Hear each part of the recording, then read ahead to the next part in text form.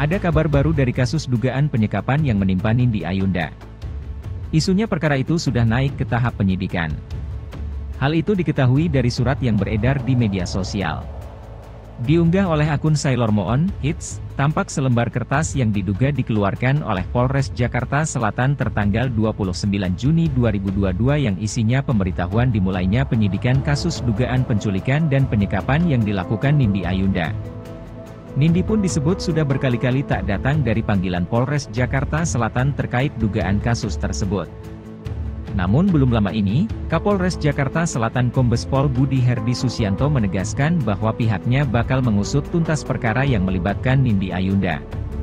Soal kapan Nindi Ayunda akan diperiksa, Budi Herdi menekankan bahwa hal itu urusan penyidik.